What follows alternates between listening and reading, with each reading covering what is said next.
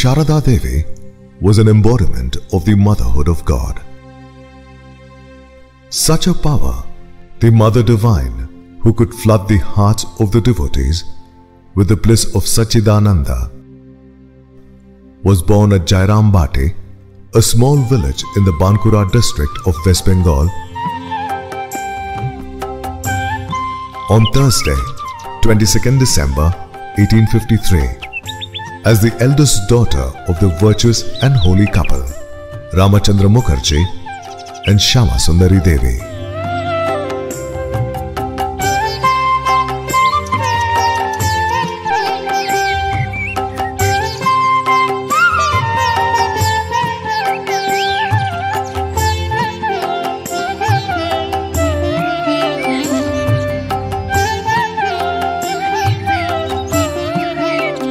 Addressed lovingly as Sharada, she was the apple of her parents' eye and the cynosure of all eyes with her playfulness.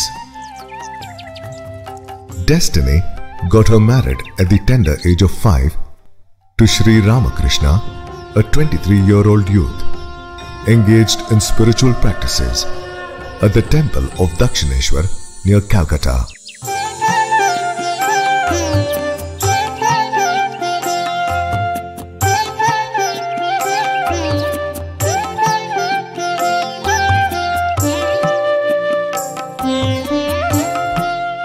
That an illiterate girl who had no formal schooling became in course of time a world teacher of spiritual wisdom is nothing short of the play of the divine mother.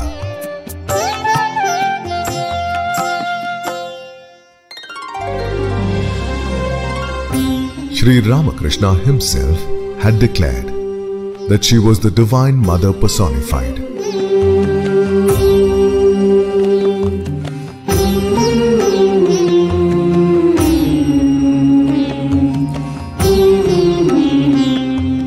was at one Phalaharini Kali Puja day that Sri Ramakrishna made her sit on the decorated seat meant for the Divine Mother and worshipped her as Shodashi.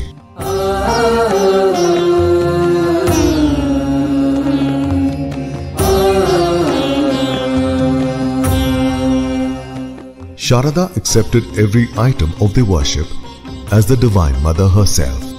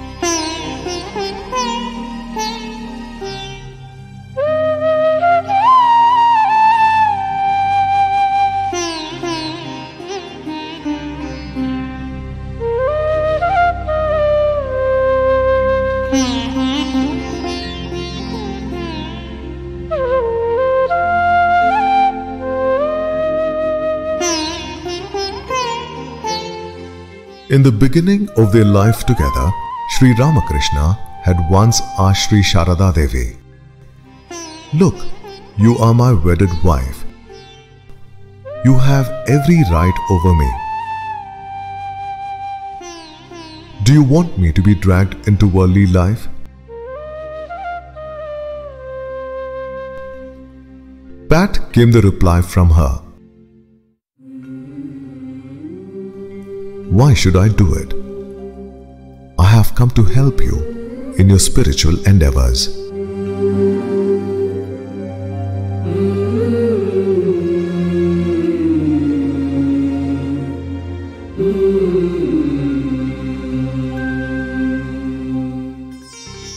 That the woman who was born as an ordinary human being, but who rose to extraordinary spiritual heights, visited the city of Bangalore and blessed her devotees and children is an unforgettable event. The holy land of Karnataka, where the sage Gautama had performed tapas, was sanctified by the dust of the holy feet of Sri Sharada Devi exactly a hundred years ago. This is an event to be recorded in golden letters. A red letter day in the history of Ramakrishna Mutt Bangalore. She came here along with her retinue, stayed for four days, blessed hundreds of her devotees who visited the mutt during her stay here, and returned with her heart filled with their faith and devotion. Her feet sanctified the premises. Her breath purified the atmosphere of the ashrama, and her love and affection transformed the lives of the devotees who had the good fortune to meet her. The Holy Mother's Rock, where she sat in meditation, is a place of pilgrimage visited by all her children even today.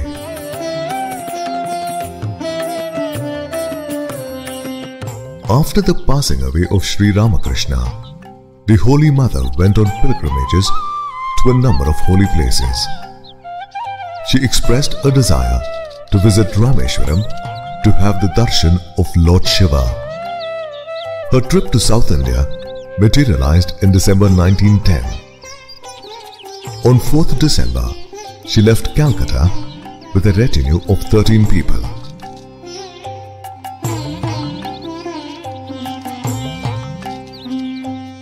Her first stop was at Kothar, where she stayed in the house of a devotee.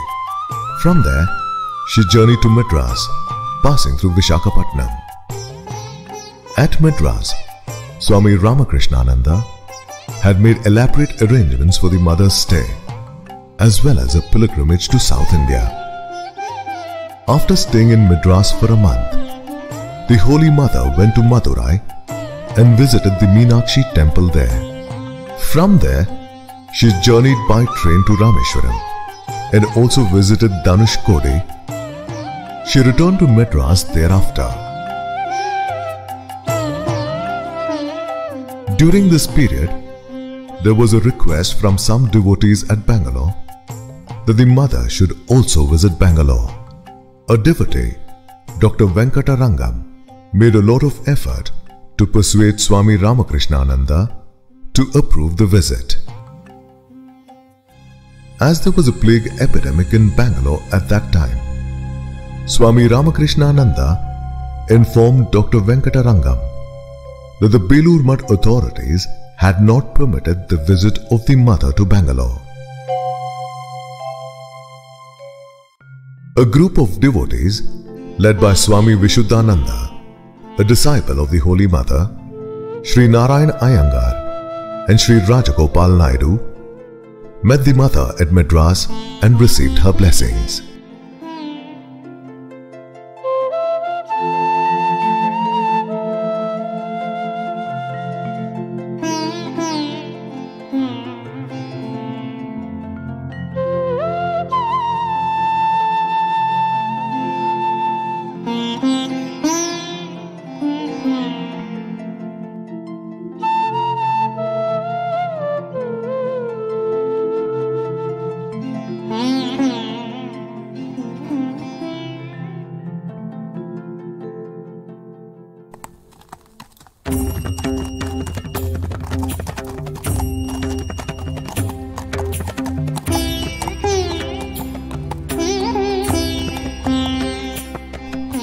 They returned with the information that the Holy Mother would not be visiting Bangalore.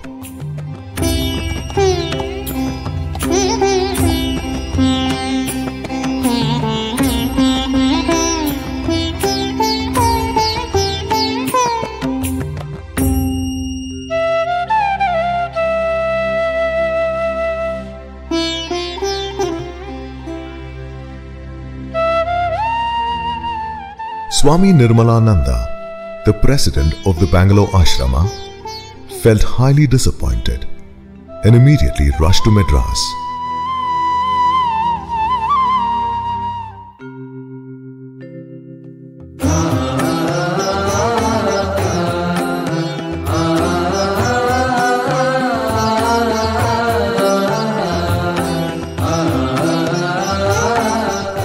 He conveyed the disappointment of the devotees in not being able to receive the mother at Bangalore. Seeing the degree of the devotees' faith and love, the mother agreed to come to Bangalore.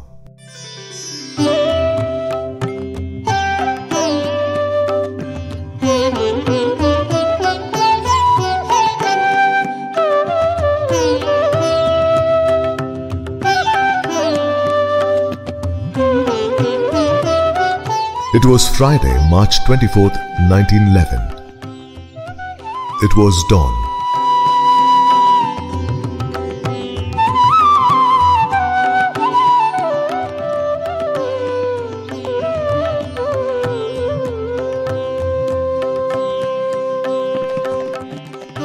Sri Sharada Devi, along with a retinue of devotees and disciples, and accompanied by Swamis Ramakrishnananda and Nirmalananda, arrived by train at the Bangalore Cantonment Station.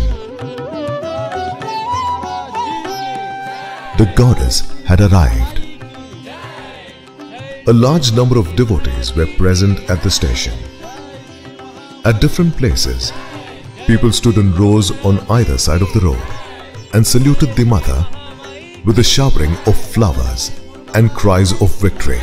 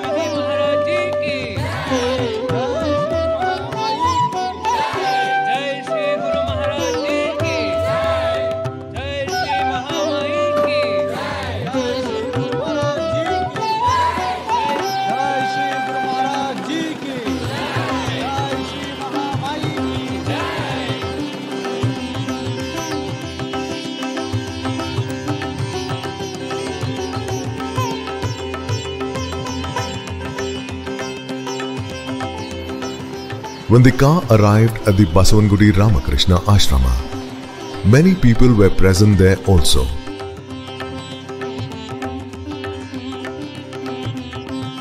There was delight in the faces of all assembled there.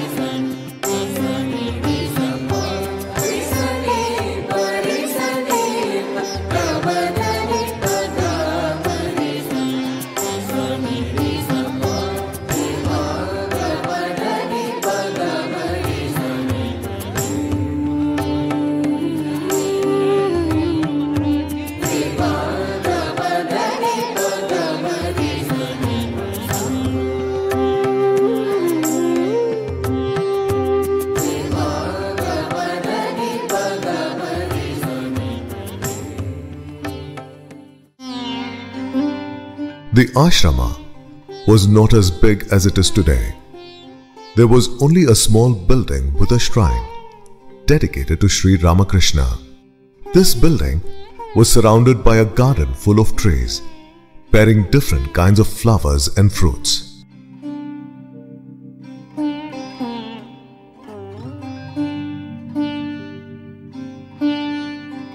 Land for the Bangalore Ashrama had been given by the government of Mysore.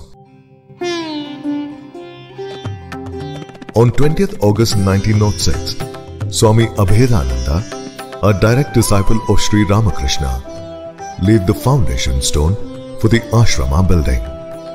Swami Ramakrishnananda, Sister Deva Mata, Dr. Venkatarangam, and Sri Narayan Iyengar made a lot of effort in collecting donations for the upkeep and maintenance of the ashrama.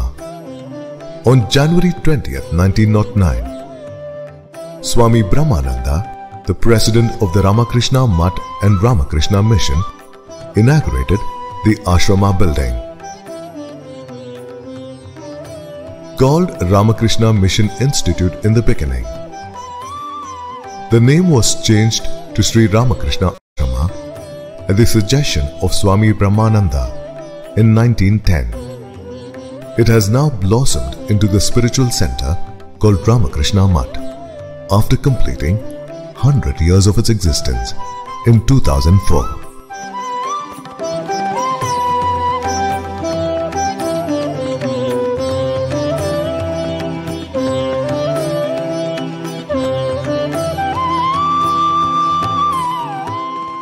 The Holy Mother stayed in the room on the extreme south of the ashrama building, which is now called the Mother's Room. She visited many places and centers, but always had to stay in some building outside the ashrama precincts. But at Bangalore, she stayed within the ashrama campus in the then shrine room, which houses her shrine at present.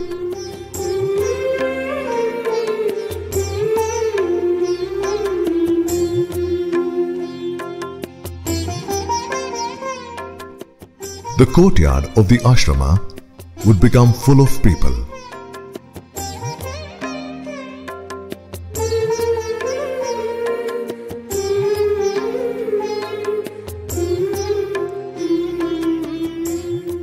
With her presence, there was a festive atmosphere in the neighborhood. She liked Bangalore very much. Praising the people there, she later recalled, তাদের খুব ভক্তি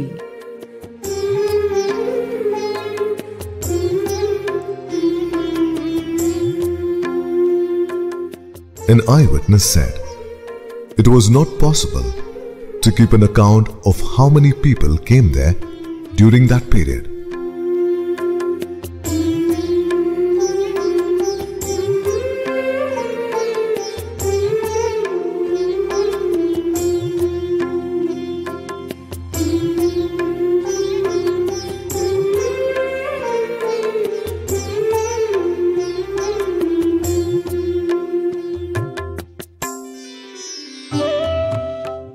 Beginning from the Divan of the Mysore state down to the very poor and distressed ones.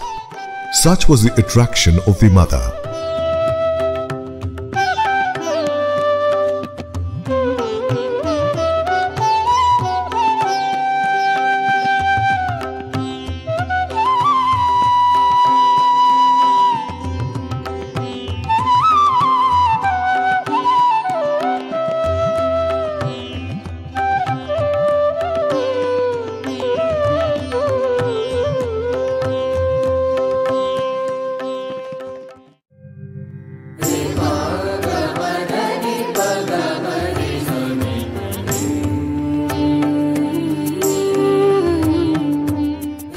One afternoon, she visited the ancient Shiva cave temple at Gavipuram. When she left the ashrama, there were not many visitors present in the ashrama at that time.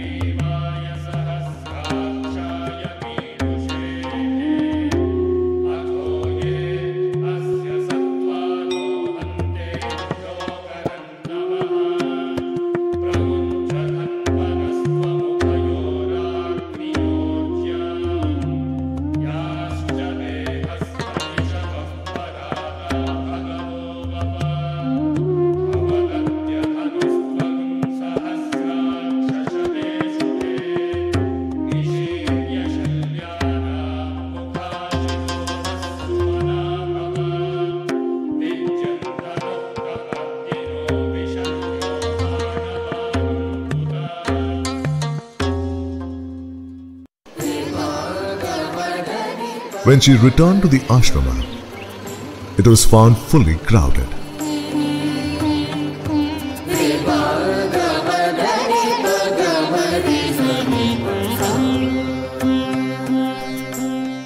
Mother got down from the car.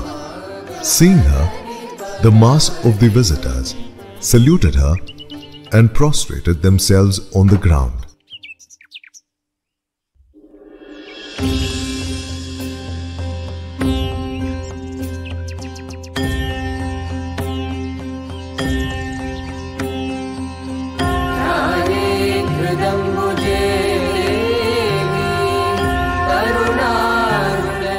father entered into ecstasy immediately and remained standing in Varabhaya posture, bestowing boons and fearlessness to her devotees. She lost external consciousness.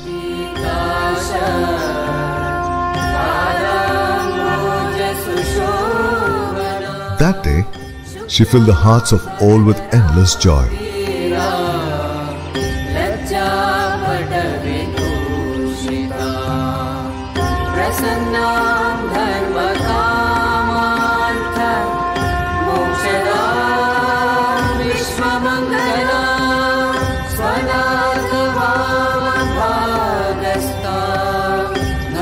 After she came to normal consciousness, she slowly walked into her room.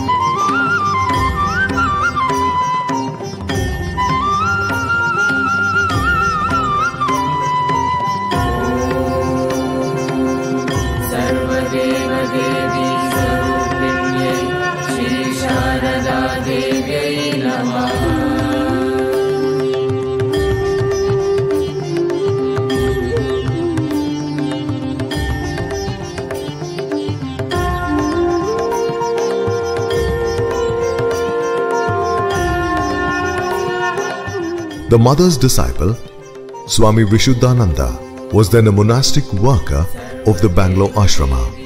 He wrote from his memories. The entire hall was absolutely silent.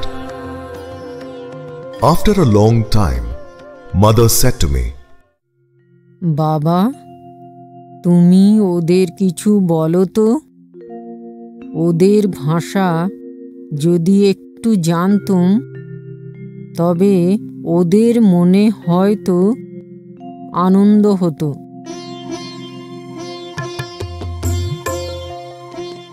As soon as these words were translated into English, Mother is saying, if I knew their language, I could talk to them and they would have been very happy. two senior devotees among them stood up and said with folded hands, We do not need anything more. No words are required.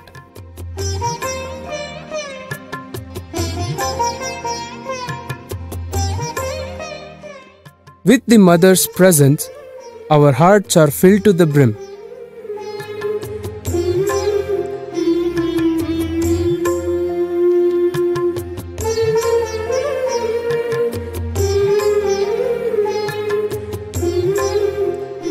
What a wonderful sight it was.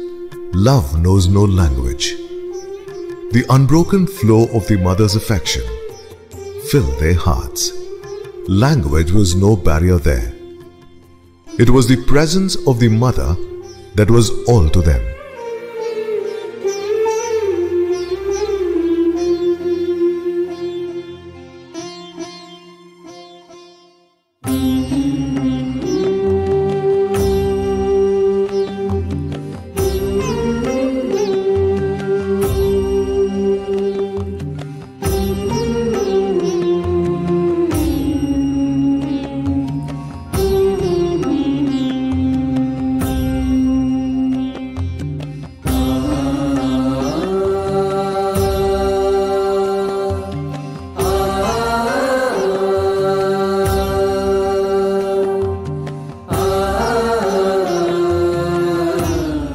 Holy Mother had come to Bangalore to shower her grace.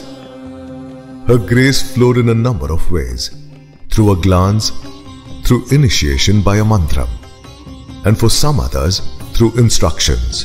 Dr. Venkata Rangam, Narayan Iyengar and his children, Rajgopal Naidu, were among those who were initiated by the mother during this period.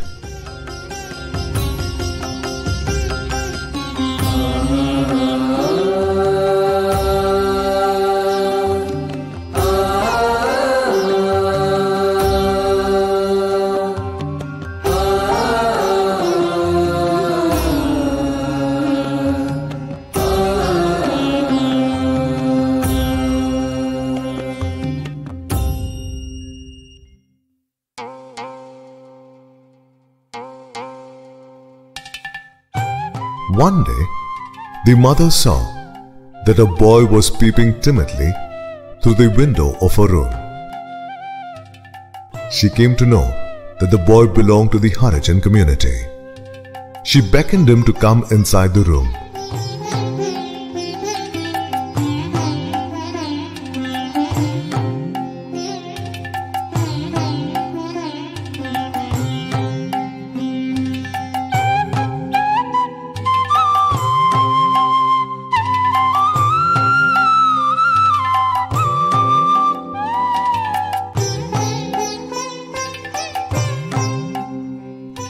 Boy came in hesitatingly in fear.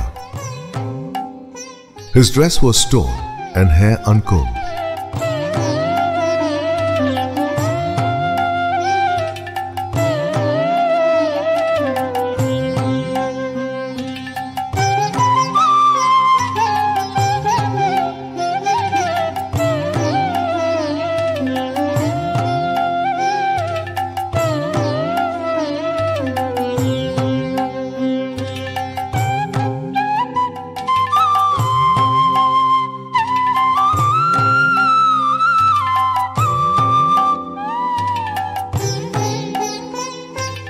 Mother applied oil on his hair and combed it.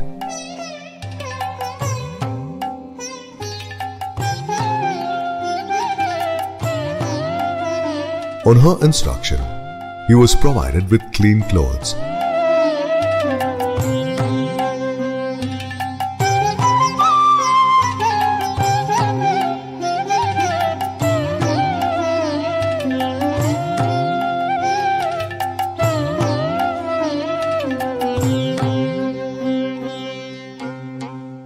Ignoring local bigotry, Mother initiated him with the divine mantra.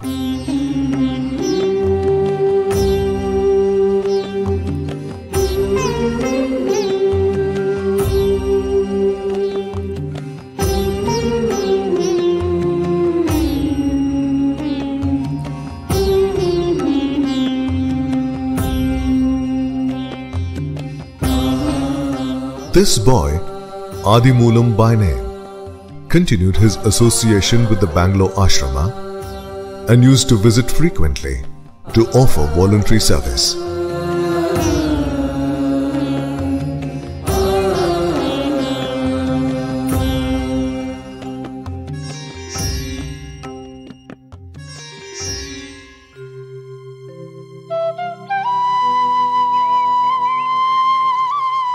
It was evening.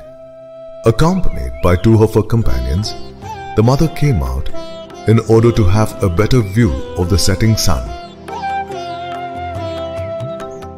Climbed the large gently sloping rock situated behind her room.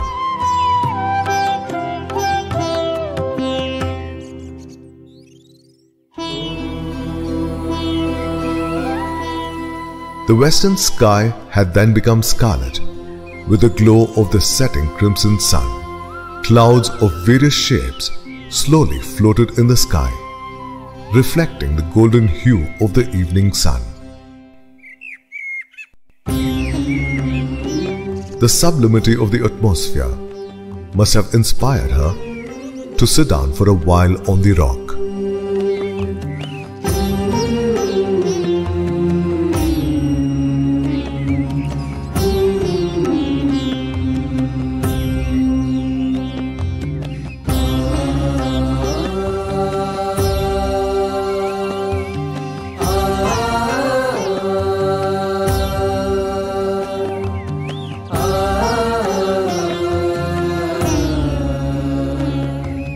When Swami Ramakrishnananda learned of her going to the rock, he exclaimed with amazement, Indeed, the mother has become Parvatavasini. He then hurried towards the place.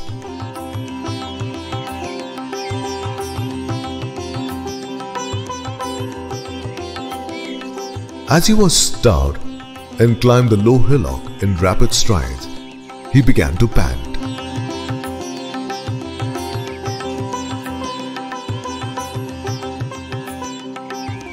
But undaunted, he went up straight to the mother, prostrated before her, and keeping his head at her lotus feet, chanted the three well known verses from the Devi Mahatmyam.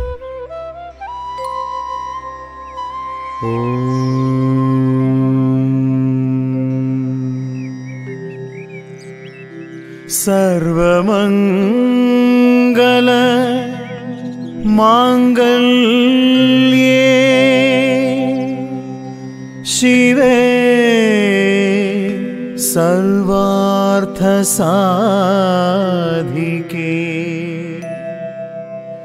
शरण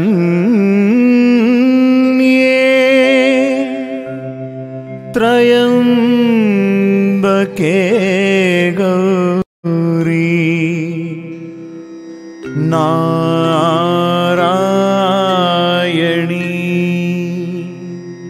नमोस्तुते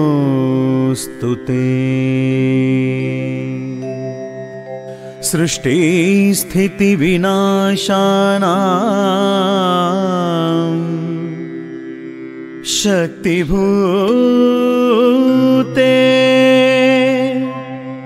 सनातनी।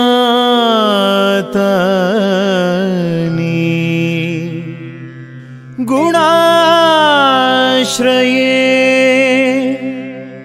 गुणमये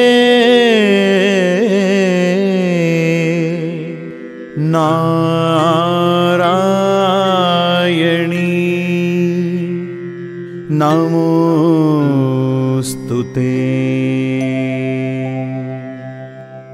शरणागत दीनार्त परित्राणपरायणे।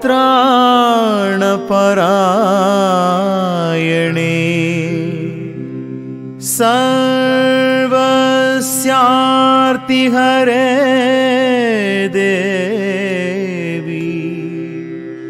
नारायणी नमोऽस्तु ते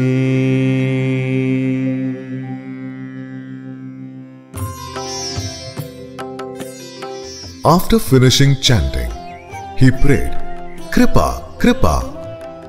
Surprisingly, under similar conditions, the mother would usually deny her identity or try to divert the attention of her devotees to some other topic through persuasion. But on this occasion, she did nothing like that. The Holy Mother caressed his head as though pacifying a pleading son.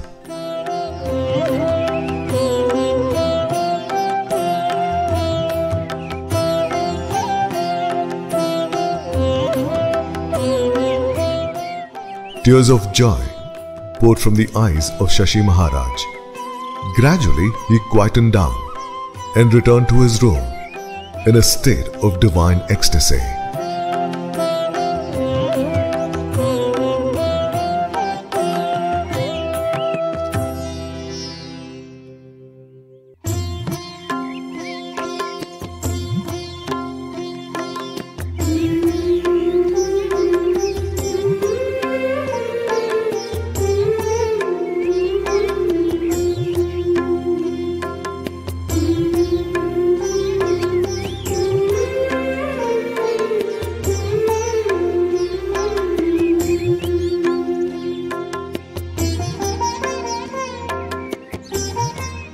Swami Nirmalananda requested the mother to perform japa, which she did before returning to her room.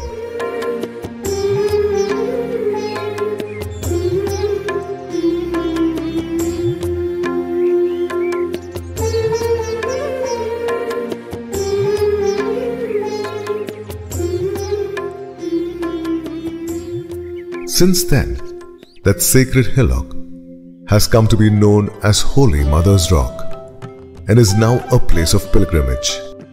Hundreds who visit this spot bear testimony to the elevated and pure atmosphere charged with her lingering presence there.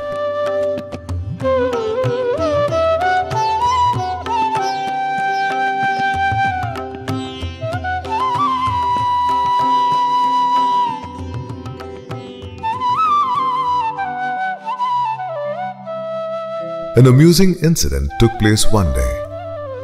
The mother was seated in one corner of the hall wearing an ordinary dress.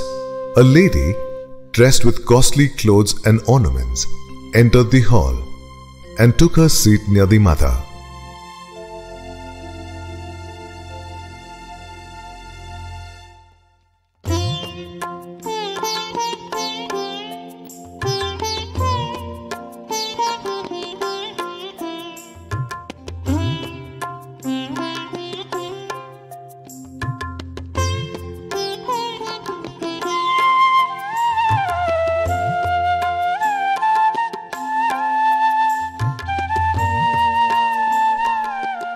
Some devotees who were visiting the ashrama for the first time and did not know the mother mistook her for the Holy Mother and were about to salute her.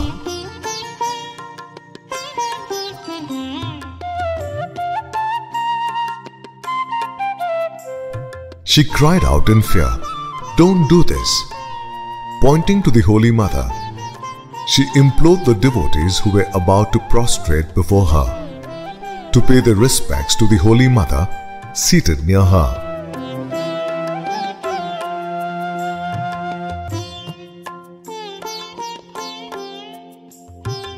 Finally, she had to flee from the scene to get rid of the embarrassment. The mother was amused, seeing the irony of possessing wealth.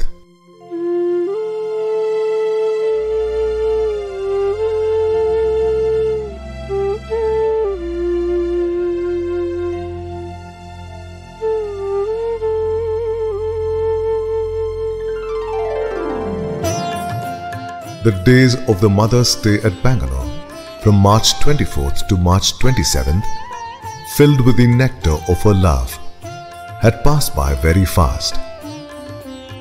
Some of the devotees offered some gifts to Sri Sharada Devi as per the capacity and choice.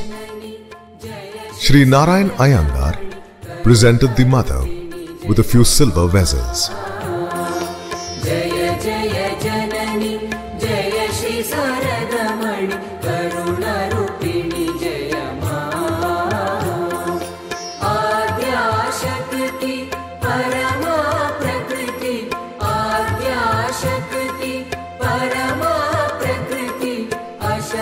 At the earnest prayer of the devotees, she gave the impressions of her footprints on a few pieces of cloth.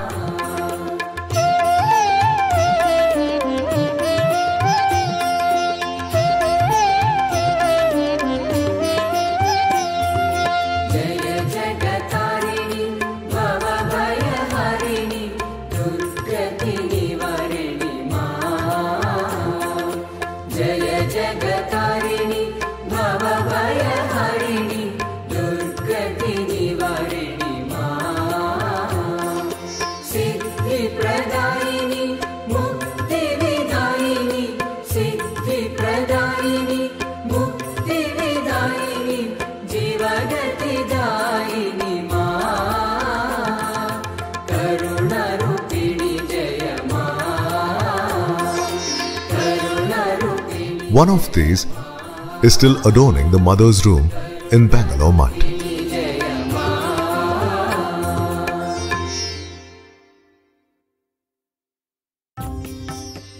In a letter from Madras, Swami Ramakrishnananda conveyed the happiness of the mother and the love and affection shown by the devotees of Bangalore.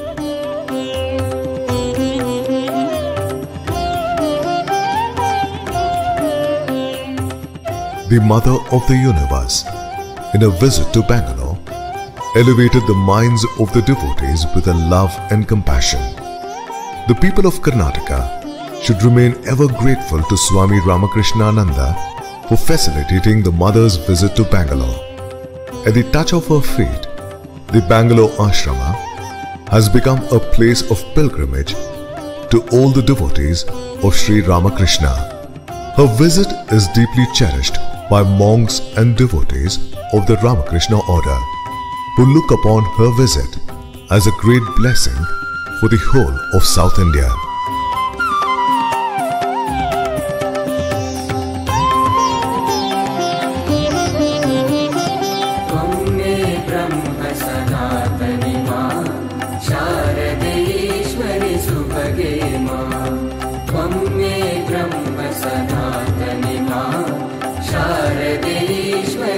भगे मा ब्रह्मानन्दस्वरूपिणि मा ब्रह्मशक्तिसुखदा